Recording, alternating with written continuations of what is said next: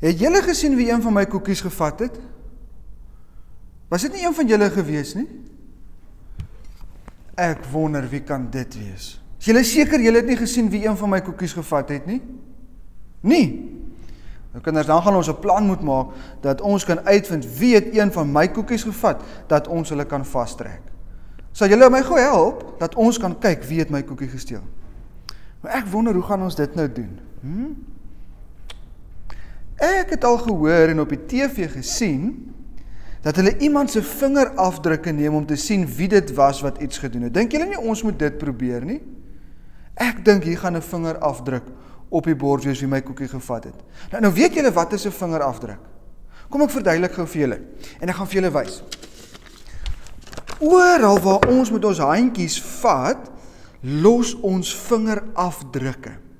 En as hulle 'n spesiale poeier daaroor gooi en so liggies afvee met 'n kwassie, dan kan jy 'n vingerafdruk sien. Nou kom ek wys gou vir julle hoe lyk 'n vingerafdruk. Ek het hier 'n spesiale inkussentjie en ek druk met my vinger daarop en dan druk ek gou daar op die papier en dan kan ons my vingerafdruk sien. Nou, julle moet bietjie op mamma of pappa se foon gaan kyk en as hulle 'n slim foon het, dan gaan daar so 'n plekkie wees waar die foon jou vingerafdruk neem sodat jy toegang tot die foon kan hê. So ek dink ons moet gou 'n bietjie kyk of hier 'n vingerafdruk sit op hierdie bord. Julle moet gou saam met my kyk. Eers gaan ek die koekies gou afval. Daar sy. En as ek 'n speurder is, het ek 'n hoed en ek het 'n vergrootglas dat ek mooi kan sien. En nou gaan ek sommer poeier hier opgooi. Hier sit die vingerafdruk. Daar sê. Kan julle hom sien daar? Hy's bietjie dalk moeilik om te sien, maar daar kan ons sien. Nou weet julle kinders, dit het my nou laat dink. Het julle geweet dat elke mens op aarde se vingerafdrukke anders lyk as ander mense se? Jou vingerafdrukke is uniek en dis die groot woord vir vandag se geloofsalfabet is uniek. Nou uniek beteken Daar is nie nog iets of iemand soos dit nie. Niemand in die hele wêreld, nie jou boetie of jou sussie of mamma of pappa of enige groot mens se vingerafdrukke lyk soos joune nie. Dit is uniek soos wat ek hierdie een gekry het hier op die bord. Jy as lofkabouter is heeltemal uniek. Niemand is soos jy nie. Elkeen van ons is anders. Elke een is uniek. Party van ons hou van baie praat, ander kan vinnig hardloop, En dan is daar maatjies wat maklik lag en ander hulle is so 'n bietjie skaam. Baie van ons lofkabouters kan 'n bal goed vang en ander kan weer mooi teken. Miskien is daar maatjies wat baie maklik raak sien as iemand anders hartseer is en wil gaan help. En ander maatjies praat nie baie nie. Nou weet jy, weet jy wat die beste ding ooit? Ek hoef nie soos iemand anders te probeer wees nie. Jesus het vir my en vir jou gemaak net soos ons is, uniek. En daarom is Jesus baie lief vir jou en is ons ook baie lief vir jou. En omdat jy uniek is, is daar niemand anders in hierdie wêreld soos jy nie. Luister gou, wat lees ek in Psalm 139 hieroor, want Jesus het elkeen van ons uniek gemaak. Hier so staan: Here, U het my gemaak toe ek nog binne in my ma was. Here, ek loof U want U het alles gemaak en dit is so wonderlik. U weet hoe my geraamte lyk want U het my bene aan mekaar gesit. U het my al gesien lank nog voor ek gebore was. Hoe wonderlik is U gedagtes oor my. U is altyd by my. Jo, kinders, is dit nie mooi nie? Jesus het elkeen van ons gemaak net soos ons is met my ore en my neus en my oë en my hare en alles het hy gemaak uniek. En Jesus het ook vir Boetie en Sissie gemaak uniek en vir mamma en pappa uniek. En almal is deur God geskep en jy is kosbaar want daar's net een van jou tussen al die biljoene mense van die wêreld. So jy moet asseblief jouself oppas. En Jesus en ons is baie baie lief vir jou. Kom ons bid saam voor ons gaan soek wie my koekie gevat het. En dan sê ons vir Jesus dankie dat hy ons uniek gemaak het. Kom ons maak ons oogies toe. Jesus ons loof U en ons prys U dat U elkeen van ons uniek gemaak het. Dat daar niemand soos ek of my maatjies is wat hierna kyk nie. Dankie Jesus dat U vir my lief is soos wat U my gemaak het en dat ek nie iemand anders hoef te probeer wees nie. Dankie vir my persoonlikheid, vir my hartjie, vir my gedagtes, vir my lyfie en dankie dat dit alles tot eer van U is. Ons loof U omdat U gedagtes ook oor ons groot en wonderlik is. Ons is lief vir U. Amen. Kinders, nou moet ons gaan soek wie my koekie gesteel het. En ek gaan nou hierdie vingerafdruk saamvat en dan gaan ons nou gaan kyk wie hierdie koekie gesteel het. Kom saam met my. Nou terwyl ek gou 'n bietjie gaan soek, hier's gou 'n liedjie wat iets gesing wat iets sing van uniek wees. Elkeen is uniek, elkeen is anders en ek gaan so lank soek. Moenie weggaan nie want ek is seker ons gaan die een kry wat hierdie koekie van my gesteel het.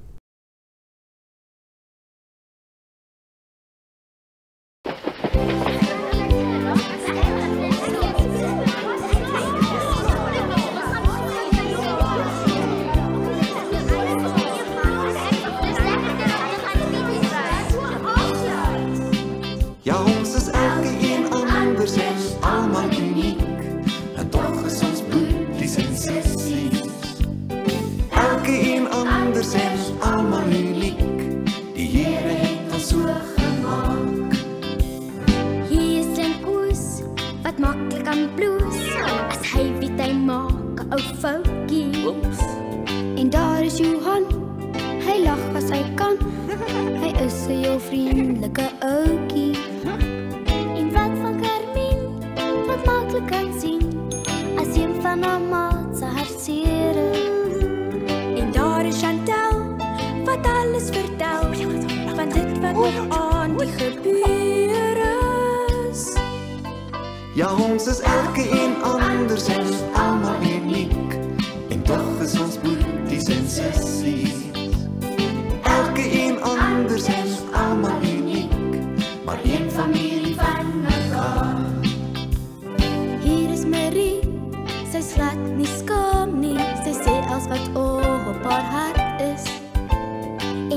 is Lucille, so kalm en stil. 'n Mens weet nie eens as sy daar is.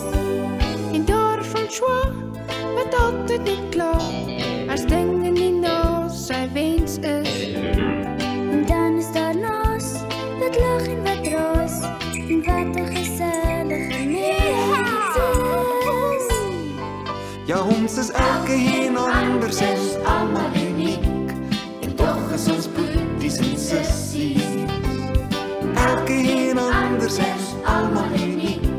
Maar een familie van mekaar.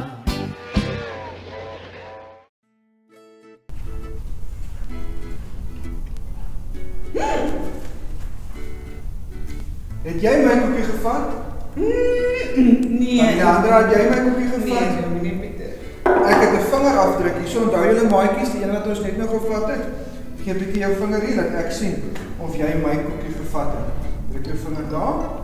Druk hom vir my daar op die papiertjie asseblief. Sy. Nou gaan ons sien kinders. Sy gaan nou kyk of dit dieselfde is.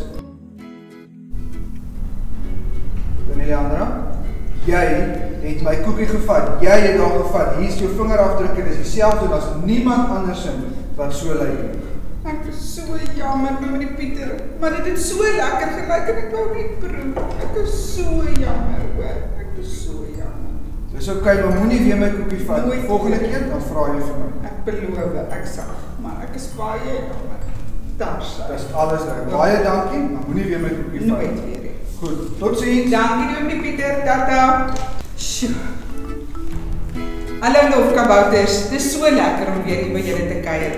En ja, net soos om Pieter my uitgegang het met my baie unieke vingerafdrukke, so gaan Tannie Gappel vir julle 'n maklike manier wys. Dan kan jy jou en mamma en pappa en boetie se en sommer almal se vingerafdrukke by die huis kyk en dan kan jy sien hoe verskil en hoe uniek is elkeen van julle sin in die huis. OK? So, eers het ons 'n stukkie papier nodig en 'n potlood en sommer net gewone kleeflint. En dan vat jy jou potlood en nou moet jy baie baie baie hard druk en inkleer. En dan maak jy net so 'n vierkantjie daarmee. Sien julle wat het Tannie gedoen? Nou, vat jy jou duim sommer op enige vinger en dan moet jy baie hard druk op daai ingeklemde stuk. Dan vat jy jou kleeflint.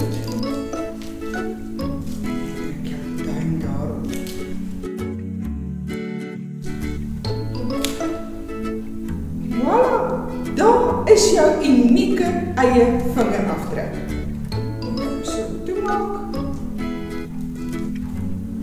Daar staan. En dan kan jy nou mamma sinne en pappa sinne en boeta sin so langs mekaar sit op 'n witblaai en sien hoe uniek is elkeen van julle. Nou ja, was so lekker om by julle te kuier. Mooi bly en soet wees en onthou julle maskers te dra, hoor? Tata lofkabouters.